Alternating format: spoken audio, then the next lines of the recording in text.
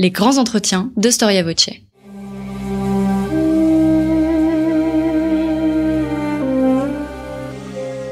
Une émission de la rédaction de Storia Voce.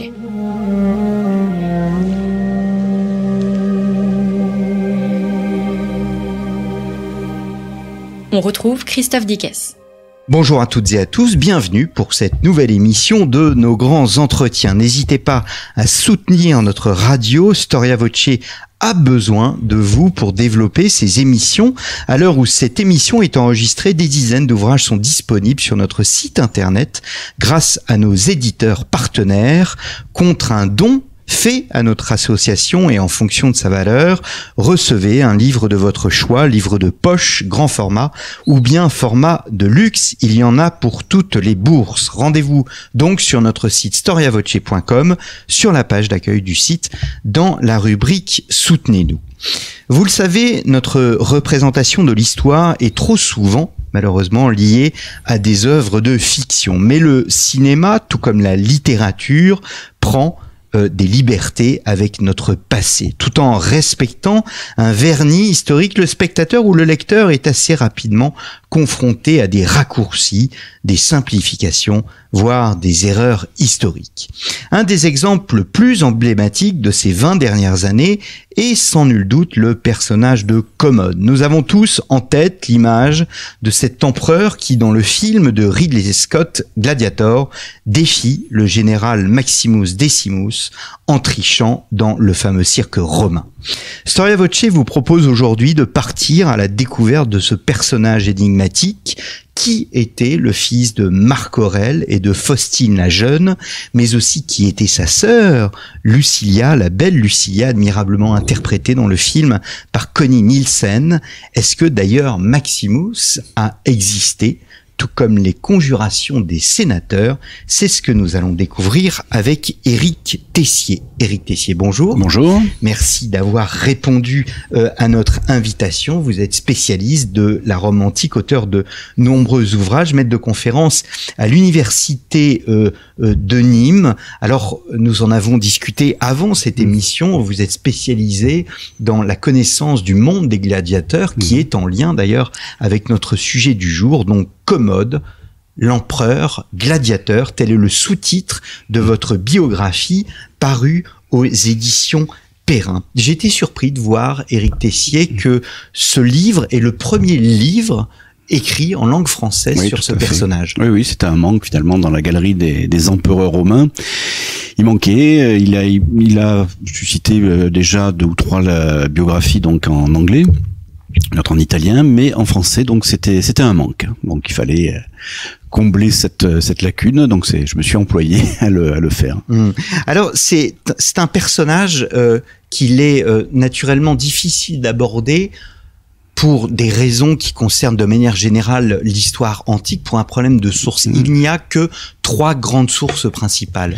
Voilà, tout à fait. C'est ce qui arrive souvent. Bon, quand j'ai fait la biographie de, de, Spartacus, je dirais c'était encore pire. Pour la biographie de Pompée, c'était un peu mieux.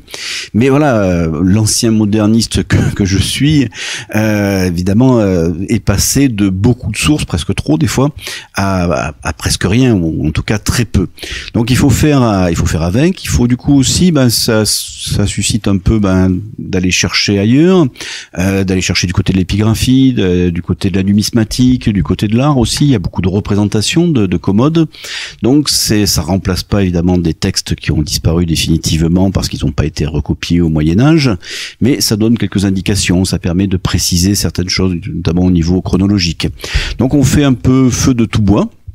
Et avec ça, on essaie justement de resituer surtout le personnage dans son contexte, et notamment en l'occurrence, donc dans le contexte des gladiateurs, sur lequel, comme vous l'avez dit en introduction, on projette beaucoup de, de choses, de fantasmes, d'idées reçues, euh, notamment par le biais du cinéma, et du cinéma hollywoodien, qui a, qui a une puissance de feu extraordinaire à ce niveau-là. Mmh. Alors nous faisons partie, vous m'avez dit avant mmh. cette émission que euh, le film Gladiator avait changé en quelque mmh. sorte votre vie. Oui, en tout cas, moi, ma vie d'historien puisque j'étais à l'époque euh, un chercheur, un enseignant chercheur déjà, donc en histoire moderne, plus exactement sur la Révolution. La Révolution française, histoire économique et sociale de la Révolution. Puis il y a eu ce film, il y a eu ce, ce film extraordinaire, donc euh, sur euh, sur Commode, sur Marc Aurel, sur la Gladiature, sur euh, Maximus, on en reparlera sans doute. Ça m'a beaucoup plu, je l'ai je l'ai vu plusieurs fois, très nombreuses fois, puis ça m'a amené justement à découvrir un, un, monde qui, qui commençait juste à émerger, en tout cas en France, en Italie. C'est le monde de la reconstitution historique, le monde aussi de l'archéologie expérimentale, c'est-à-dire j'ai rencontré des gens justement qui qui commençaient donc à essayer d'expérimenter certaines choses, notamment sur le combat de, de gladiateurs. Et j'ai vu tout de suite, j'ai compris qu'il y avait là vraiment une, une piste très intéressante pour revenir sur des idées reçues, parce que comme tout le monde, moi, pour moi, les gladiateurs, c'était les films péplum, c'était quelque chose de, très violent, de très sanglant. Et finalement, par l'expérimentation, on a pu démontrer que c'était des combats qui étaient extrêmement euh, normés, extrêmement techniques, et que bien loin de la débauche de d'hémoglobine qu'on voit dans, Gladiator, notamment, et dans bien d'autres films les gladiateurs, ben le sang euh, coulait relativement peu. La mort était présente, mais c'était une possibilité. C'était jamais, en tout cas, quelque chose d'absolument euh, indispensable, je dirais, ou fatal. En tout cas, à l'époque qui nous, qui nous concerne, donc l'époque de, de l'Empire romain. Et donc, il était intéressant de, de démontrer ça, d'aller chercher les sources, notamment iconographiques, pour pouvoir donc donner une nouvelle image des, des gladiateurs. Mmh. Donc de là, ben, de là, d'autres livres, donc sur sur Spartacus d'abord, l'esclave gladiateur et maintenant sur l'empereur gladiateur. Alors nous allons revenir hein, sur le monde des gladiateurs, puisque encore une fois, Commode euh, ne peut pas être compris sans ce, ce, ce prix. Je voudrais m'arrêter mm. tout de même sur le fait que vous ayez travaillé au, fond sur un des moments les mm. plus importants de l'histoire de France, qui est la Révolution française. Est-ce que votre regard de moderniste ou de contemporanéiste vous a aidé dans vos travaux de recherche euh, en histoire antique? Est-ce que euh, les hommes pensent de la même façon, agissent de la même façon, sont mus par les mêmes sentiments, les mêmes passions? Alors il y a des points communs, c'est vrai, euh, notamment pour la Révolution française. C'est vrai qu'on peut, par contre, on peut, je dirais plus presque le contraire, c'est-à-dire on peut pas comprendre la Révolution française si on connaît pas un peu l'histoire de Rome, parce que nos, révolutionnaires se pensaient comme des, des Romains ou comme des, des Grecs de l'Antiquité. Bon, on pense à Gracchus Babeuf, hein, par exemple. Euh, ils, ils allaient jusqu'à se, se, rebaptiser de, de, certains noms romains. Donc a cet aspect-là, et c'est vrai qu'il y a des, y a des points communs, quoi. Ben, les points communs, par exemple, entre le, le premier empire et, l'empire romain. Euh, y a des points communs aussi sur des sociétés qui sont, dans un cas comme dans l'autre, euh, évoluées, euh, mais qui sont pré-industrielles aussi. Donc il y a, il y a certains éléments finalement qui, qui peuvent concorder. Donc dans, la, dans ces deux périodes qui semblent très éloignées, mais qui ont quand même certains points communs. Hum, hum. Alors, rentrons dans le sujet. Le premier paradoxe, c'est que euh, commode est associé à une forme de décadence, à une décadence, même pas une forme, une décadence.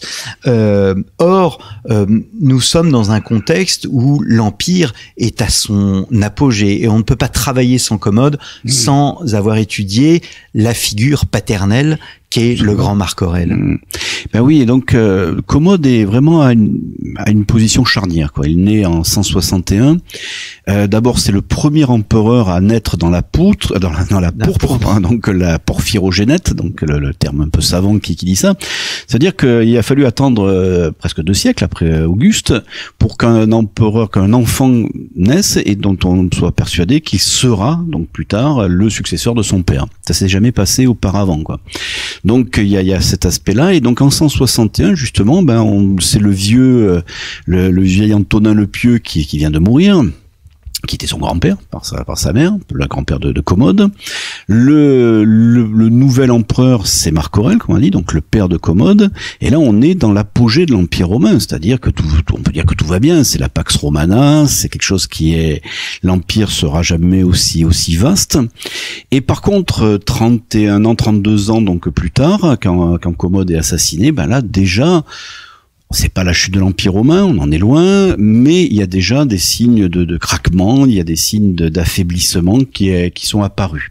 Alors on peut pas parler encore, je dirais, de, de décadence de l'Empire romain, ou en tout cas ce qu'on projette sur sur Commode n'est pas forcément quelque chose de nouveau. Je pense notamment au combat gladiateur, mais c'est vrai qu'il qu est à un moment donc important où l'Empire est entré dans une, une spirale de, de déclin, il faut bien le dire, mais qui l'amènera bon beaucoup plus tard, hein, trois siècles plus tard, à la disparition, en tout cas pour la partie occidentale de l'empire. Je dis, c'est pas, ce sont les derniers mots de mmh. votre conclusion. Ce n'est pas le début de la fin, c'est la fin du commencement. Moi, j'ai emprunté ça à Churchill parce que j'aime bien aussi la Seconde Guerre mondiale.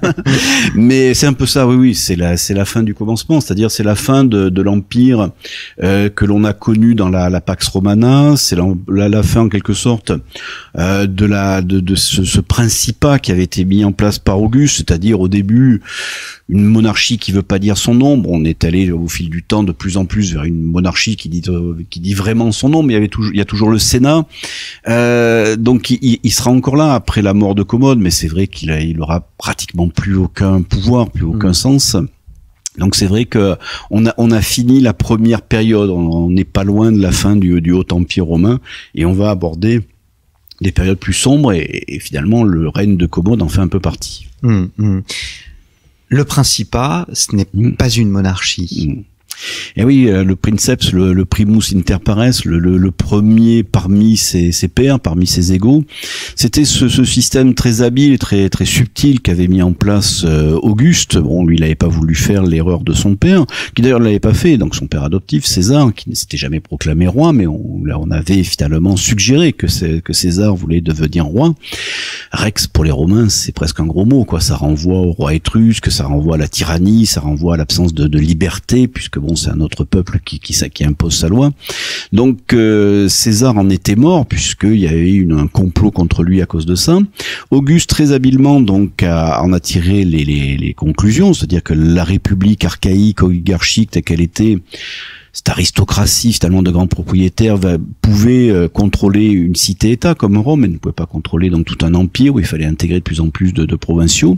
Il fallait une tête donc à la, au sommet de l'édifice, c'était Auguste, mais en habillant ça de d'une toge finalement républicaine, on peut dire, c'est-à-dire que les, les, les apparences étaient, étaient sauves. C'est pour ça que le Principat, que nous on appelle l'Empire, qui a pas vraiment de, de, sens du point de vue romain, quoi, du point de vue latin, euh, c'est, je dirais, une, une, monarchie un peu déguisée, une monarchie qui dit pas son nom et qui sauve un peu les apparences. C'est-à-dire que le Sénat est toujours là, les magistrats sont toujours là, il y a toujours des consuls, des, des prêteurs, etc. Donc ça a été finalement le, le grand talent d'Auguste de permettre cette transition, donc entre ce qu'on appelle la République et ce qu'on appelle l'Empire. Nous, bon, les Romains parlaient de respublica finalement dans les dans les deux cas, c'est-à-dire la, la chose publique, l'État. Et donc cet État, c'est vrai, est devenu de plus en plus monarchique, c'est-à-dire avec avec vraiment un empereur qui est à la tête de cet édifice très complexe et qui de fait donc euh, gouverne seul avec cette nuance que les bons empereurs maintiennent toujours le Sénat, maintiennent toujours donc des rapports, on va dire, cordiaux avec les sénateurs. Bon, lui, Commode, par contre, va pas avoir de très bons rapports avec le, Sénat. Et comme c'est les sénateurs qui écrivent l'histoire romaine, évidemment, lui aura une très mauvaise image dans l'histoire. Donc, il faut aussi tenir compte de cela. Hmm. Alors il naît dans une fratrie très importante, mmh. hein, 13, 13 enfants, ouais, 13 enfants Faustine mmh. la jeune. Euh, mais alors il y a des rumeurs quand même autour mmh. de cette Faustine pour savoir si euh, au fond euh, euh cet enfant n'est pas adultérin. Oui, alors ça c'est évidemment quelque chose qui a, qui a, été dit, qui a été dit, en fait qu'on trouve dans, surtout dans une seule source et la source elle-même suggère que c'est du, euh, c'est un peu des, des commérages, euh, on va dire apocryphes, c'est-à-dire qui, qui ont été qui ont pu être suggérés après la mort de Commode.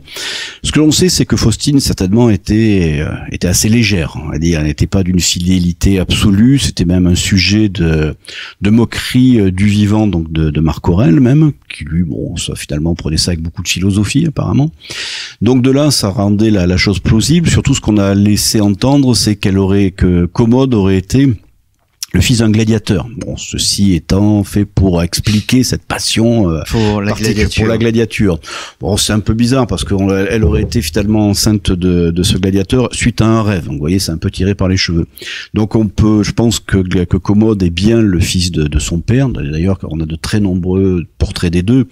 Il y a quand même une certaine ressemblance. Alors, peut-être que justement cette ressemblance est accentuée par les par les artistes, mais il semble peu probable que, que Commode soit soit le ne soit pas le fils de, de Marc Aurel. Hmm. Il a un frère jumeau. Oui, qui disparaît donc euh, très jeune, à 5 ou 6 ans, donc qui a pu justement causer donc euh, une perte, euh, un traumatisme, un chez, traumatisme ce garçon, chez ouais. ce garçon, un manque quelque part. Il a, il a aussi d'autres frères qui meurent tous en très bas âge. C'est le seul garçon de la fratrie qui est qui survit. il a des sœurs plus âgées, donc notamment la fameuse Lucilla dont on reparlera. Donc il est, il vit finalement dans un monde un peu, je dirais pas de femme, puisqu'il a son père fait attention à lui lui, lui procurer les meilleurs professeurs de, du monde gréco-romain, on va dire de, de cette époque-là. Il a une excellente éducation. Mais bon, c'est vrai, son entourage familial est plutôt féminin, d'autant que son père est, est occupé ailleurs. C'est une période justement de, de, craquement. Il y a une campagne qui se joue donc dans l'actuel désert entre la Syrie et l'Irak, donc une campagne contre les Parthes qui est, qui est victorieuse pour les Romains. Mais les Romains en ramènent un cadeau empoisonné. C'est une épidémie, une épidémie qu'on appelle de peste, qui est probablement de, de variole et qui va constituer un choc euh, démographique terrible qu'on a du mal à, mesurer puisqu'on n'a pas de source on n'a plus de sources euh, quantitatives, on n'a pas de recensement, mais les indices que nous avons peuvent laisser penser justement qu'il y, a un vrai problème, qu'il y a une chute de la démographie, qui fait que l'Empire romain, à cause de ça, par cette épidémie qui va connaître d'autres d'autres récidives pendant la vie de Commode, fait que le, la population de l'Empire ne retrouvera plus son niveau de 161, le, niveau de la, naissance de, de, Commode. Et comme c'est une société qui est pré-industrielle, ben, il y a de richesses que d'hommes. C'est-à-dire moins, moins d'hommes, c'est moins de producteurs, c'est moins de, de richesses, c'est moins de soldats aussi, à une époque justement où, où, les frontières sont menacées, et pas seulement en Orient, mais aussi, dès que la guerre de Syrie est terminée, euh, des menacées sur tout le Danube. Donc c'est vraiment plusieurs peuples germaniques qui poussent, qui travaillent traversent le, Danube et qui vont ravager donc cette partie-là de l'empire qui correspondrait aujourd'hui à l'Autriche, la Hongrie, la, Slovénie et même l'Italie du Nord. Donc l'Italie est même menacée. Donc ça c'est quelque chose qu'on avait qu'on avait plus vu depuis des siècles. Hein. La dernière grande invasion germanique, elle remontait à Marius à, en 102, 105 avant Jésus-Christ. Donc c'est c'est quelque chose d'important et il manque de soldats et donc Marc Aurel va avoir beaucoup de mal justement à pouvoir rejeter donc ces, ces tribus germaniques de l'autre côté du Danube. Et c'est la situation que l'on voit donc au début du fameux film Gladiator et qui pour cela est, assez juste, assez bien bien senti. Hmm. Euh, ça un enfant capricieux euh, qui euh, à la fois montre à l'égard de la gladiature euh, une passion quasi immédiate. C'est une passion d'adolescent. C'est une passion d'adolescent mais je dirais c'est absolument pas surprenant quoi. De, Tacite déjà disait au siècle précédent que, que le sujet de conversation principal entre les professeurs et leurs élèves c'était les gladiateurs. Donc il faut bien resituer donc la gladiature pour ce qu'elle est. C'est presque un sport national c'est quelque chose qu'il faudrait comparer par son impact au foot aujourd'hui. C'est-à-dire qu'on va construire des, édifices énormes que, sont les amphithéâtres. Il y en a 250 dans l'Empire romain. C'est pas un truc seulement de romains. C'est en tout cas, ça touche tout le monde, y compris les Grecs. Les Grecs font des combats gladiateurs même dans leur grand théâtre. Donc, c'est un fait de société. C'est un ciment, je dirais, de cet empire romain qui est constitué de peuples extrêmement différents et qui se retrouve dans cette gladiature parce que c'est pas c'est pas ce qu'on imagine. La gladiature, c'est quelque chose qui est extrêmement normés, c'est pas c'est plus des esclaves qui, qui combattent comme gladiateurs, c'est des volontaires, c'est des gars qui sont extrêmement entraînés. Je dis des gars, il y a aussi des femmes gladiatrices. Euh, c'est des gens qui combattent pas comme on voit dans le film Gladiator en disant bah tiens, je, au dernier moment je prends tel casque ou tel casque. Non non, ils sont dans des types de gladiateurs bien précis. On sait que Commode a toujours été sécoutor, donc son adversaire ça a toujours été le rétière, donc celui qui a un trident et un filet. Donc on est dans quelque chose qui est extrêmement normé, quelque chose aussi qui a un lien avec le religieux, le funéraire aussi. On fait des combats gladiateurs à l'occasion de funérailles d'un personnage important. Euh, on fait, on invoque les dieux comme à chaque fois qu'il y, a un spectacle ou une cérémonie quelconque avant les combats gladiateurs.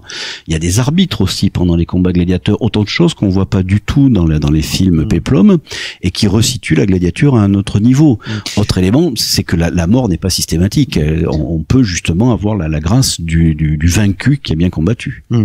Dans, dans votre livre, vous, vous placez la gladiature entre, j'allais dire, la passion que l'on peut avoir aujourd'hui pour le football mais aussi dans sa dimension euh, spirituelle traditionnelle, dans euh, la tauromachie. Oui, tout à fait. Alors peut-être c'est le, le dis-moi peut-être qui parle, puisque justement j'ai la chance d'être dans une ville où sans chauvinisme on peut dire qu'on a l'amphithéâtre le mieux conservé au monde, euh, beaucoup mieux conservé que le Colisée par exemple, qui est un grand amphithéâtre. Il avait 25 000 places à l'époque, seul situé dans 20e position à peu près des amphithéâtres de l'Empire.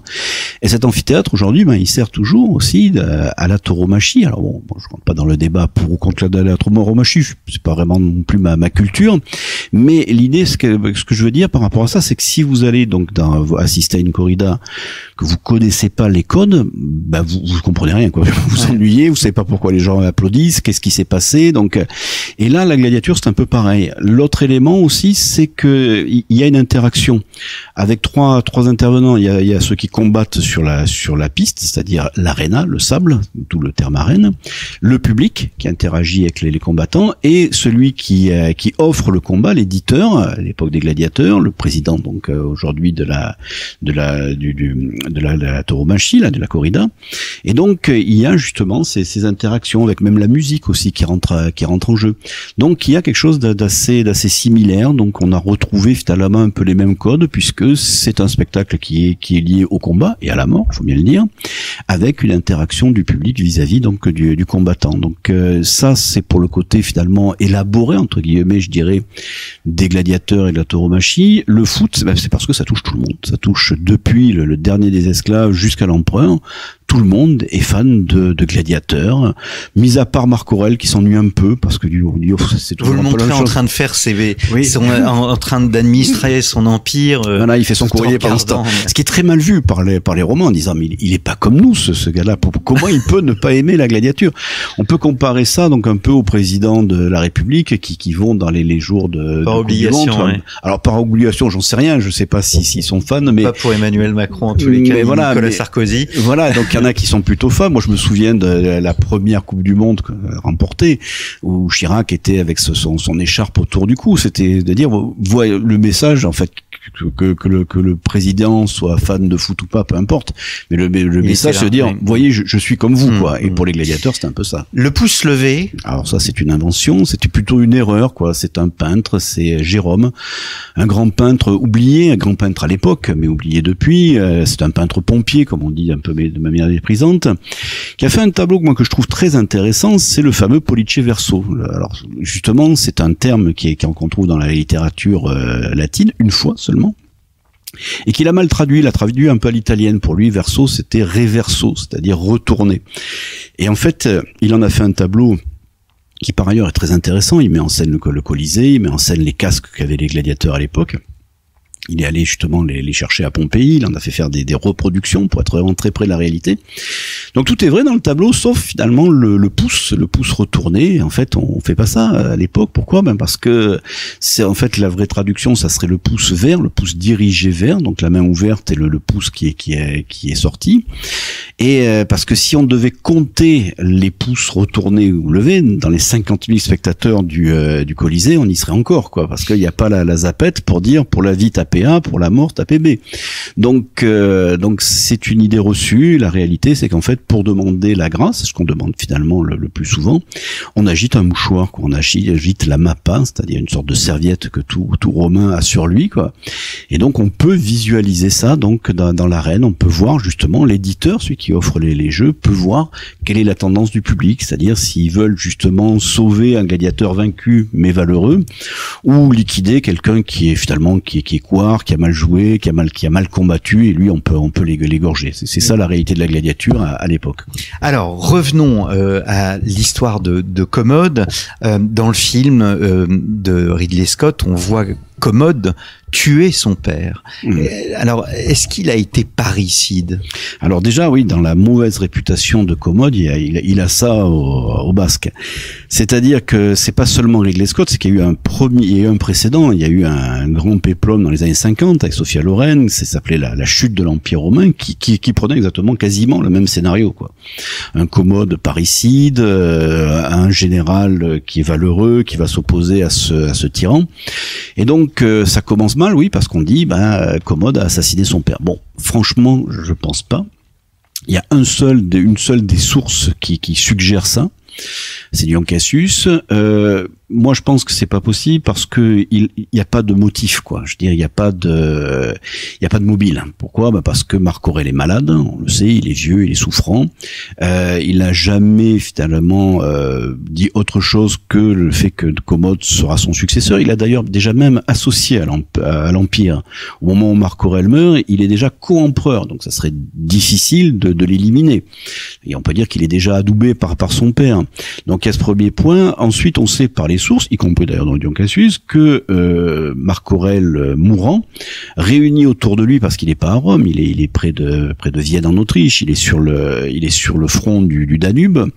Il réunit autour de lui les principaux sénateurs qui l'ont accompagné, les généraux de l'armée, pour pour leur désigner son fils. Dire voilà, c'est c'est c'est lui euh, le, le, successeur. Soyez avec lui comme vous avez été avec moi. Soyez, ses pères à, à présent quoi. Donc il y a il y a aucun comme on dit, il n'y a pas de lézard. Marc Aurel a bien désigné Commode comme son, son successeur. Il n'y a pas d'intérêt ni d'urgence à ce que, ce que ce, ce, jeune homme de 19 ans assassine son père qui, qui l'a toujours euh, mis au premier, au premier rang. Hmm. Donc ça, je pense pas que ce soit ce soit vrai. Hmm. Donc il, il devient euh, il devient empereur. Il n'est hmm. pas à Rome euh, à l'époque où il devient empereur. Il est en campagne militaire hein, sur le, le, front germanique. Euh, il pense rentrer et finalement il entend euh, ces, ces, euh, ces, généraux qui lui disent non, il faut rester. Il reste et on a l'impression que ces premiers pas, ces premiers mois, en tous les cas, euh, sont euh, révèlent un certain succès euh, dans euh, dans l'exercice du pouvoir. Absolument, c'est-à-dire s'il avait, s'il était resté sur la, la, lancée de ces six premiers mois, certainement qu'il serait resté différemment dans l'histoire. Euh, c'est aussi un argument pour dire qu'il n'a qu'il n'a pas tué son père. Pourquoi? Parce qu'il est déjà donc avec son père donc sur cette frontière du Danube c'est pas un endroit très très plaisant parce que ces provinces-là ont été ravagées par les invasions germaniques, les, les Germains ont été repoussés. Marc Aurèle est en train de gagner la guerre. Et donc on aurait pu dire, ben ce, ce jeune homme finalement qui, qui ne s'intéresse qu'à ses jouissances veut retourner tout de suite à, Rome et liquide pour ça son vieux père. C'est pas, du tout ce qu'il fait. Il va rester six mois, donc c'est-à-dire qu'il fait toute une campagne. Le, Marc Aurèle meurt à la fin de l'hiver et Commode rentre à Rome seulement en octobre. Donc il fait toute la campagne donc d'été donc sur le, Danube. Il parachève l'œuvre de son père. Il signe des traités donc avec les, tribus germaniques, mais des, des traités euh, victorieux donc où il soumet donc ces, ces barbares à un tribut, il, leur impose justement de, de, se replier loin du Danube, il en installe certains donc dans les, régions qu'ils avaient eux-mêmes euh, ravagées pour les pour les repeupler en fait. Donc il y a une œuvre qui est qui est plutôt satisfaisante. Il, il finit bien les campagnes de son père. L'autre élément et qui, qui est important pour comprendre ça, c'est qu'il est déjà donc dans les camps militaires depuis au moins deux ans avec son père, qu'il est déjà passionné de gladiature et gladiature à l'époque c'est aussi un entraînement pour les soldats. Et ces premières exhibitions, qui ont sans doute l'ont marqué, se fait dans des amphithéâtres de bois, que l'on a retrouvé d'ailleurs même dans les camps militaires de cette époque-là, parce que ce sont des entraîneurs de gladiateurs qui entraînent les légionnaires et pas le contraire. Et donc il faut se mettre à la place de ces, de ces troufions de l'époque qui voient donc le fils d'un empereur, empereur lui-même en titre, finalement co-empereur, qui combattent comme eux avec des armes mouchetées contre des adversaires.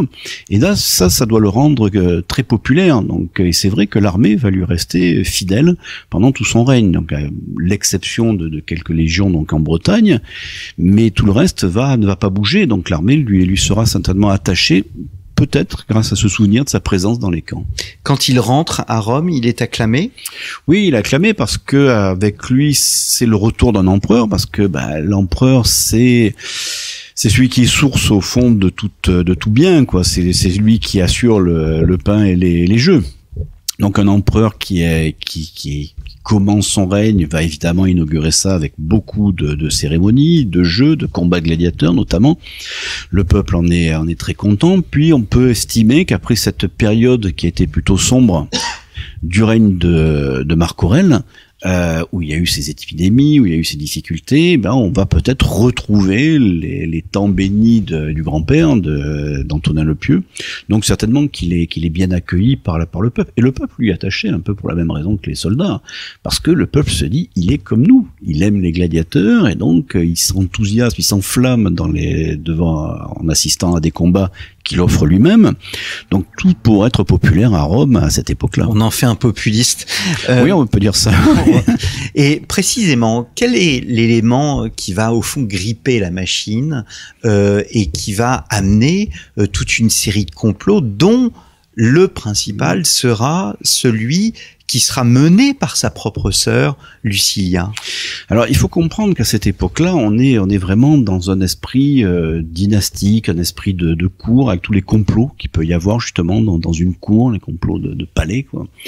Et c'est vrai que euh, on est dans un monde où euh, Commode, donc, est le, je l'ai dit, le, le petit-fils donc d'un empereur, Le Pieux.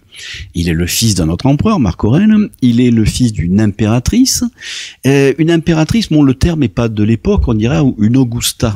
Comme, le titre qui correspondrait à empereur, c'est Augustus. C'est-à-dire digne des dieux. C'est-à-dire c'est euh, dire c'est l'antichambre de, de, de la d'être divinisé. C'est-à-dire que quand on est une Augusta, euh, on est d'une autre espèce quoi. Hmm. Les, les, les bonnes Augustae, les bons Augusti vont vont avoir leur statut dans les temples et seront l'objet de, de culte. Oui.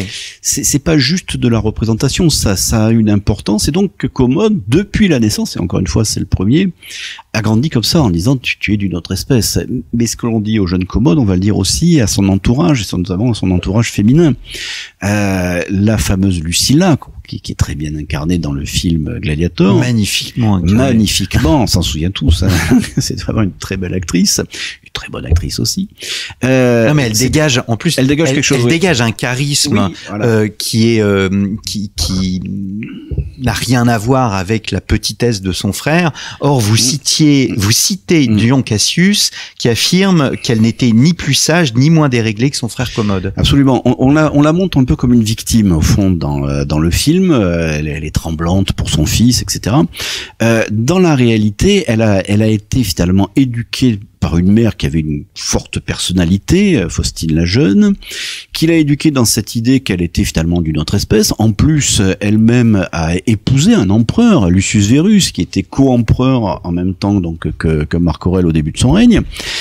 Lucius Verus meurt de ses débauches d'ailleurs, et, euh, et du coup, euh, elle a conservé, elle a beaucoup tenu à conserver son titre d'Augusta, donc euh, digne des dieux.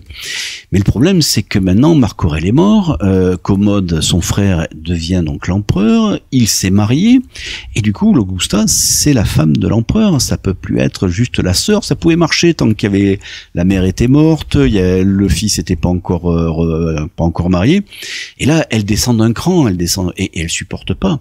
Et donc, c'est ça qui motive justement un complot, qui est peut-être pas le premier, parce que sans doute que Faustine la jeune, alors que Commode a à peine 15 ans, elle aussi a comploté, elle aussi s'est rapprochée de conjurés qui auraient pu justement entraîner l'assassinat à la fois de Marc Aurèle, mais aussi du jeune Commode. Donc déjà, quand vous avez votre mère qui complote contre vous, c'est pas terrible. Et là, Patatrac, il a à peine 20 ans, c'est sa sœur, et là, c'est pas des sa sœur justement est, l'âme d'un complot où euh, on va essayer de poignarder Commode. Commode réussit donc à se, à se débarrasser de son, son agresseur, sans doute parce qu'il est justement euh, éduqué aux arts martiaux, euh, sans doute parce qu'il sait euh, se battre donc euh, en tant que, que, gladiateur.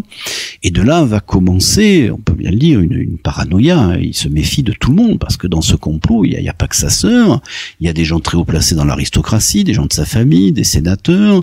Il y a donc quelqu'un qui, qui a la, la tête de ses cohortes prétoriennes.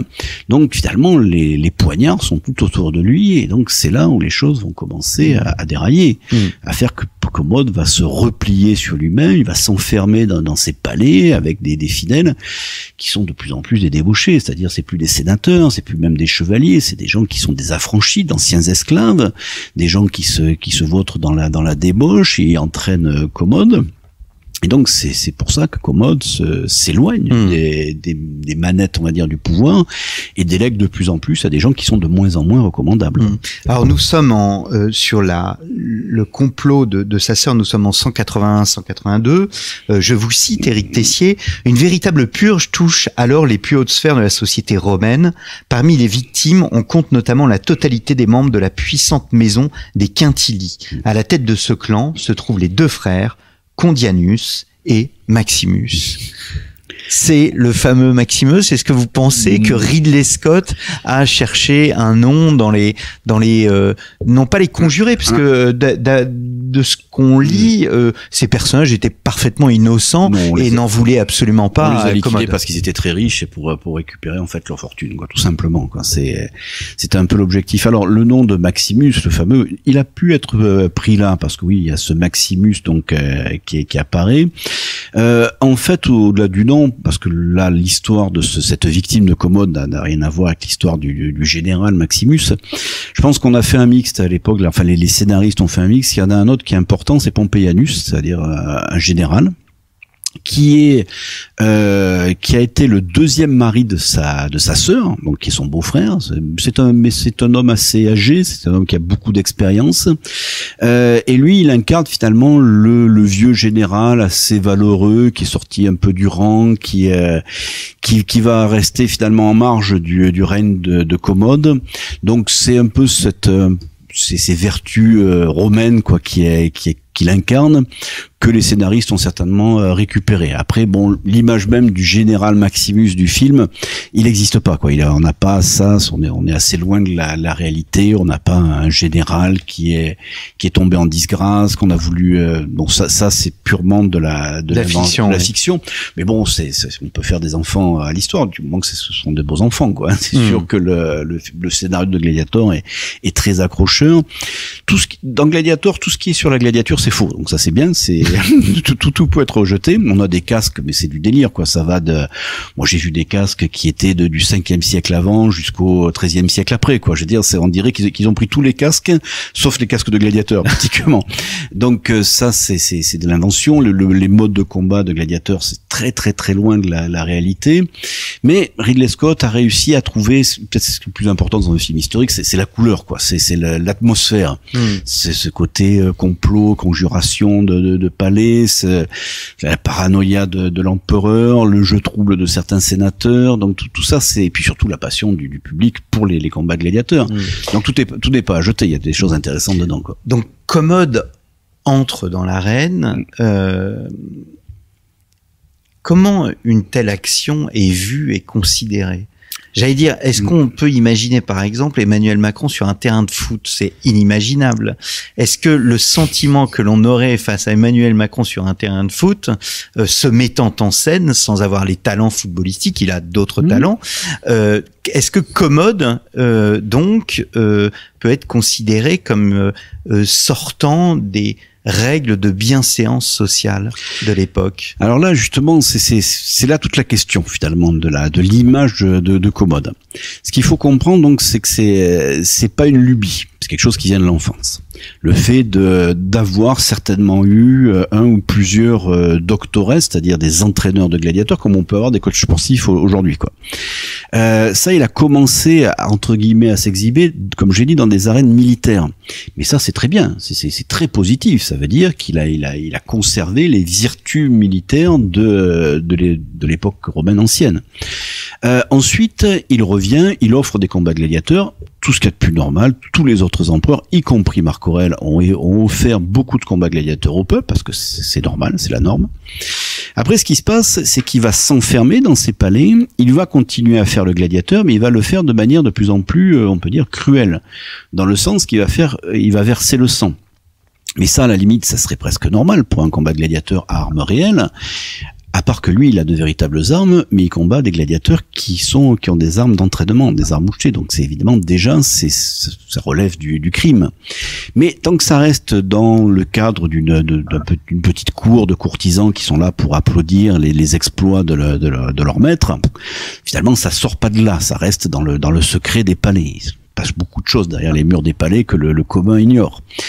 Là où ça va dérailler, c'est quand il se persuade lui-même qu'il est vraiment un gladiateur. Il se, il s'autoproclame prince des sécoutors. Donc le sécoutor, c'est un type de gladiateur avec 1000 victoires. Alors là, c'est du lire.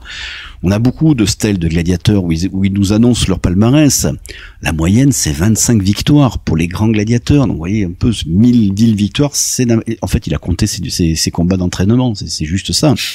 Donc, euh, donc ça, c'est un peu du délire. Et puis un jour, il dit, bah moi, je vais combattre dans le Colisée avec des vrais gladiateurs.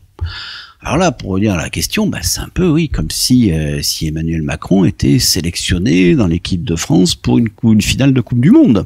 Ça aurait cet impact-là. Je dirais, mais bon, c'est, si on l'a sélectionné, c'est, qu'il est bon, c'est qu'il, qu'il va vraiment faire le, le, show. Donc évidemment, ça doit avoir un impact énorme. C'est, pas ça qui choque au fond, enfin en tout cas qui choque le peuple, si, ça choque les, les sénateurs, parce que c'est un, empereur qui s'exhibe, qui, s'offre en public et à moitié nu. C'est ça, un gladiateur. Hein. Il n'est pas recouvert d'une armure. Hein. Il, est, il a très peu de protection. C'est de l'exhibition, l'exhibitionnisme, mais pour le peuple au début, c'est, je dis waouh, c'est incroyable, c'est jamais vu, c'est extraordinaire. Et là où la déception, ben, c'est que quand le peuple voit que voit ce que les courtisans voyaient dans le, secret des, des, des palais, c'est-à-dire un empereur qui triche, un empereur qui a de véritables armes, qui est accompagné donc euh, du, du, du, préfet de la garde prétorienne, qui, est en armes, c'est un peu le, le, quintus du, euh, du film, qui est accompagné de son chambellan, lui aussi en armes, donc ils sont trois armés jusqu'aux dents, face à un pauvre héritière qui, qui lui n'a qu'une dague en bois et un trident moucheté. Donc forcément, donc ça, c'est ça qui choque, quoi. C'est ça qui choque et, et puis il le sent bien. à un moment donné, il voit que la que la foule n'est plus du tout en phase avec lui parce que 50 000 spectateurs dans le Colisée, croyez-moi, ça ça fait du bruit, quoi. Ça, hmm. ça remue. Et donc euh, donc il, il, se dit, même il a, il a un coup de folie. Il ordonne donc au préfet du, du prétoire, mais mais tuez-les tous, quoi. Donc bah, ils sont 50 000, ça fait un peu beaucoup. Donc on voit qu'il y a vraiment une rupture à ce moment-là. Du coup lui-même renonce à ses combats gladiateurs, il, va seulement faire le chasseur, mais là aussi il triche quoi, c'est-à-dire c'est de la boucherie quoi. Il tue des animaux euh, sauvages, mais ça bon être chasseur c'est ce qu'on fait le matin dans les amphithéâtres les gladiateurs c'est l'après-midi parce que les, chasseurs c'est des professionnels, mais ils sont quand même beaucoup moins célébrés, célèbres que les gladiateurs. Donc il doit déjà se rabattre dans ses ambitions, mais à la sortie l'effet médiatique je dirais est déplorable quoi. Il a il a rompu le lien qu'il avait su garder avec le peuple, qui, qui, qui a dû les commodes pour toutes ces raisons-là. Et là, il s'est, il s'est complètement déconsidéré. Donc, alors, il était déjà par rapport aux sénateurs qui, qui ont passé son règne à trembler parce qu'il en a tué beaucoup de sénateurs. Et le peuple était son appui, le peuple avait foi, on va dire, en Commode, et là, là, c'est la rupture. Et donc là, Commode se, se, retrouve tout seul. Le roi, le roi est nu à ce moment-là. Est-ce qu'on peut sauver Commode euh, dans le sens, euh, vous montrez euh, son administration, sa politique, le fait qu'il ait été chef de guerre, mais il a eu un peu comme Marc Aurel d'ailleurs dans le contexte que vous présentez au début de votre ouvrage, il n'a pas eu un contexte facile. il n'a pas eu euh, euh, j'allais dire, un environnement euh, facile, propice à l'exercice d'une bonne politique. Ça, c'est certain. Il y a des choses qui, des, des problèmes qui lui échappent complètement. Les épidémies, c'est pas, c'est pas de son fait. Il, y est pour rien. Donc ça, c'est des choses aussi qui, qui recommencent sous le règne personnel de, de Commode. Ceci dit, on peut difficilement non plus le, le sauver. Euh, c'est-à-dire, c'est pas, on peut, difficilement, de toute façon, c'est pas le but d'une biographie, mais le réhabiliter, c'est difficile parce que ce qu'on peut lui reprocher, c'est que c'était un peu le principe, c'est après moi le déluge. C'est-à-dire qu'il s'est désintéressé au fond du fonctionnement de l'empire. Il a tout délégué à ses chambellans, ses chambellans qui est avec notamment le, le terrible Cléander, qui était un ancien esclave affranchi, qui était l'homme des, on dire des, on pourrait dire pour caricaturer un peu l'homme des orgies de, son oncle, Lucius Verus, là, qui, qui était mort alors que Commode était jeune. C'est lui qui est l'ordonnateur des menus et des grands plaisirs de, de Commode. Et surtout, c'est lui qui, finalement qui, dirige tout. C'est, lui qui a capté finalement le, pouvoir, qui, qui a les manettes, et qui va s'en servir pour placer dans les provinces, comme gouverneur, des gens qui, qui ont acheté leur, poste. Euh, il va distribuer les, les titres de, de sénateurs, là aussi contre argent. Et une fois que ces gens-là qui ont payé beaucoup, par exemple, pour être avoir le titre très honorifique d'un gouverneur de province, mais ils vont faire leur retour sur investissement, c'est-à-dire qu'ils vont inventer des taxes hmm. de nouveaux péages, de nouvelles taxes, qui ne sont pas pour le trésor de Rome, mais qui sont pour leur propre profit, alors même qu'on est dans une situation économiquement qu'on peut deviner les difficultés, c'est-à-dire comme moindre population, moindre production, on a des révoltes paysannes notamment, on a cette révolte de Maternus qui est assez mal connue mais qui ressemble un peu à la révolte de Spartacus, c'est parti d'un soldat déserteur, il part de, de, l'Alsace actuelle, de Strasbourg, et puis il va traverser avec une troupe qui va sans, sans se grossir sans cesse, non pas d'esclaves mais plutôt de, bah, de déserteurs et de, paysans donc en rupture de banc parce que écrasé de taxes, écrasé d'impôts, il va, il va payer une partie de la Gaule. Des villes qui sont ouvertes, des villes qui sont sans garnison. On, se fait une image de l'Empire romain assez totalitaire. On imagine un peu l'URSS. C'est complètement idiot. C'est complètement idiot parce que les, les gens ne se pensent plus comme Gaulois au deuxième siècle. Ils se pensent comme Romains. Et pareil pour les Syriens, pareil pour les, l'Afrique du Nord, les Espagnols. Mmh. Donc il n'y a pas besoin d'avoir des troupes à l'intérieur de l'empire. Et donc une fois qu'il y a une troupe, euh, on va dire euh, hostile, qui qu'elle soit de barbares euh, ou de révoltés, qui, sont lâchés là-dedans, c'est très difficile de les stopper. Donc on voit qu'il y a un problème interne. On voit que que, que Commode finalement a, laissé faire quoi. Le Commode s'en est un peu désintéressé. On, on le voit pas présent, contrairement à son père qui lui était était sur le, front sans cesse. Contrairement à Adrien qui était un un, excellent euh, empereur qui, qui, a voyagé dans toutes les provinces de son empire. Donc ça, c'est c'est vraiment finalement un peu ce que je dis, ça a été un empire en pilotage automatique. Quoi. Hmm. Donc il y a, plus personne dans, la, dans le cockpit, mais l'empire tient, de, tient debout. Et ça, on peut dire que c'est le, le, fruit de la ben, de l'œuvre d'Auguste, quoi, qui, qui avait conçu cet empire, qui contrairement à l'image qu'on s'en fait, est plutôt un empire décentralisé où les où les cités, quand je dis cités, c'est pas juste les villes, c'est la ville et le territoire qui en dépend, s'auto-administre. Et donc, tant qu'on laisse faire ça, tant qu'il y a justement bah, très peu de taxes, très peu de, de, de, douanes intérieures, il y a beaucoup de marchandises, de richesses qui s'échangent, qui se distribuent. C'est ça la Pax Romana, c'est 150 ans, de, les 150 glorieuses, quoi, 150 ans de croissance économique. Et là, ça se grippe, ça fonctionne encore parce que, on dirait aujourd'hui, la technostructure est là, les généraux sont toujours de, de bons généraux, les frontières ne, ne craquent pas, mais il y a plus de pilotes, quoi. Et donc, hmm. on aurait pu espérer quelqu'un qui, qui, relance la machine grâce à la paix que, que, que Marc Aurel avait pu rétablir, ben là on a une absence, on a des parasites, on a des, des gens qui profitent de la, qui sont des comme des parasites sur la sur la bête et qui l'affaiblissent. Ils réussissent pas à la mm. tuer, elle mettra trois siècles à mourir encore, hein, mm. donc euh, il y a du temps. Mais mais évidemment il n'a pas été là, c'est son absence qu'on peut lui reprocher. Quoi. Et pourtant et pourtant à la différence de Marc Aurel, vous le montrez très bien, il ne persécute pas les chrétiens. Ah oui, alors euh, alors la persécution de Marc Aurel, faut faut la relativiser comme il faut, je pense relativiser en général. Vous en parlez à propos de Sainte Blandine. Voilà, euh, c'est 177 quoi. Donc c'est c'est la seule persécution, en tout cas la première dont on dont on a une trace de chrétiens en Gaule. Faut dire qu'à cette époque-là, il y en a pas beaucoup des chrétiens, il y en a très peu et en plus ils sont pas les seuls sur le marché. Le marché, je dirais de d'une espérance d'après la mort. C'est vrai que les, les, religions traditionnelles gréco-romaines ne disent pas trop ce qui se passe après, donc on va dans des enfers, mais c'est pas des enfers où il y a une punition quelconque, c'est il y a une après-vie comme on dit dans Gladiator, quoi. C'est c'est un peu le, le, monde un peu des, des Champs Élysées, des limbes, pas on sait pas trop ce que à quoi ça ça correspond.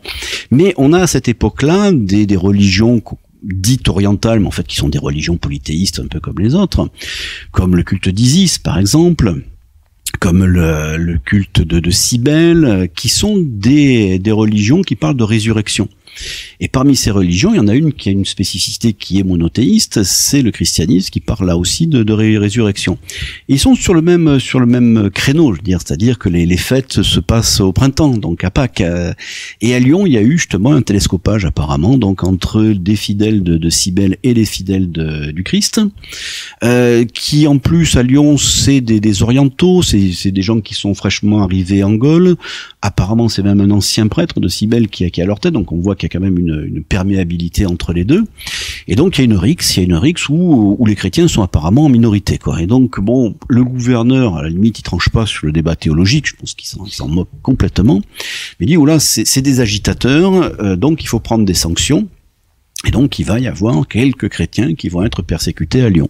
À ce moment-là, on en a une trace, on en a les traces euh, écrites.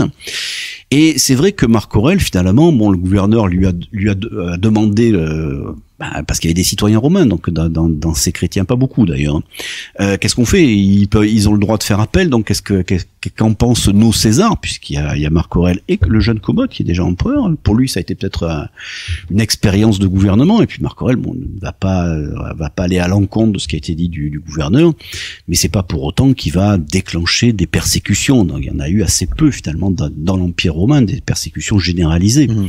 Mais dans le cas de Commode, il y a une l'influence d'une personne de son entourage. Martial, Martia, qui est une affranchie, elle aussi, hmm. qui est la fille d'une concubine, on pourrait dire presque une prostituée. Donc, de, de, il y en avait beaucoup dans ce, ce monde-là, dans cette dans cette cour-là une concubine qui est apparemment attachée à Commode et Commode euh, lui est assez attaché aussi.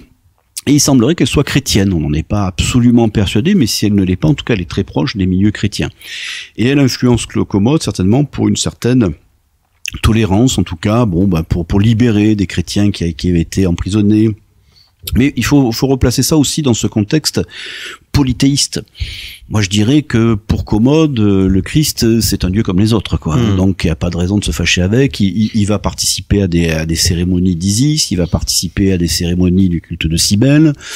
Bah, pourquoi pas sa, sa concubine est chrétienne ou, ou philo-chrétienne Bon, ça, ça, ça, ça, gêne pas. Euh, ce qui est gênant pour les Romains, c'est pas tellement le, ce que pensent les, les gens. Au fond, ils sont très tolérants de ce point de vue-là, les Romains étant polythéistes. Mais il faut, faut faire les bons gestes, quoi. C'est-à-dire, pour eux, bah, il y a le culte impérial. Le culte impérial, c'est une sorte de religion civique. C'est, euh, on commémore finalement le culte des bons empereurs. Il suffit juste finalement de, de, de jouer le jeu, quoi. Donc, en fait, c'est, s'ils reprochent quelque chose aux chrétiens, c'était sur ça, surtout ça, de pas, de pas mm. jouer le jeu de, de ce ciment de l'empire qui était le, le culte impérial. Après, les, les, chrétiens pouvaient bien penser ce qu'ils voulaient. Je veux dire, les, les, Romains étaient prêts à penser euh, absolument n'importe quoi. Je veux dire, mm. c'était ils étaient très très ouverts par rapport à ça. Mais c'est vrai que du coup, peut-être que c'est un des apports du, règne de Commode, on manque de sources pour l'affirmer, mais il a certainement pu être un moment où le christianisme a pu s'enraciner un petit peu plus, en tout cas à Rome, dans les milieux un peu importants, les milieux de, pouvoir, mais il faut le resituer dans, un contexte plus large. C'est vrai que l'époque de Commode, c'est une, une époque où, on va dire, dans l'aristocratie de l'État romain, les orientaux sont en train de, pousser les, occidentaux vers la, sortie. On voit que tout l'entourage de Commode vient de ce qu'on appelle les, provinces orientales, en fait, c'est-à-dire de, de langue que ce soit la, Grèce, que ce soit l'Abysie mineure, la Syrie. Donc c'est des, gens qui vont apprendre de plus en plus d'importance, qui vont coloniser, on peut dire, encore plus qu'il l'était auparavant, donc le, le, Sénat. Les Antonins, c'est des occidentaux finalement. Hein. Je veux dire, c'est euh, Antonin le Pieux, c'était euh, le petit-fils d'un Nîmois. Les Nîmois en sont très fiers. Hein. Euh, Trajan, c'était un Espagnol. Quand on dit Espagnol, c'était des, des, des, Romains de d'Espagne ou, de Gaule. Donc euh, c'était ça finalement la, la dynastie euh, des Antonins. Et Commode prépare la, finalement le terrain à la dynastie suivante, les Sévères. Et les Sévères, ben, le septième Sévère, c'est un punique qui est marié donc avec une, une prêtresse syrienne. On voit que c'est, il prépare, sans le vouloir vraiment, mais il prépare le temps des Orientaux, quoi, ce, mm. ce, glissement vers l'Orient. L'empire bascule mm. à l'est. Merci beaucoup. Merci. Eric Tessier. Donc je rappelle euh, le titre de votre ouvrage, Commode, l'empereur gladiateur, un ouvrage paru chez notre partenaire, les éditions Perrin. Je vous remercie encore pour votre fidélité, chers auditeurs, et je vous donne rendez-vous la semaine prochaine pour un nouveau numéro de nos grands entretiens.